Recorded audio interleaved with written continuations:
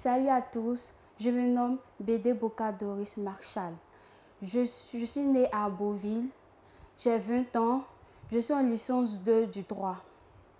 Ma motivation pour participer au concours Miss 2.0 est la suivante. Le concours Miss 2.0 permet aux jeunes filles de pouvoir s'affirmer, s'exprimer et de défendre une cause qu'elles trouvent juste et de pouvoir montrer qu'elles peuvent être leaders dans cette société qui est remplie plein d'hommes.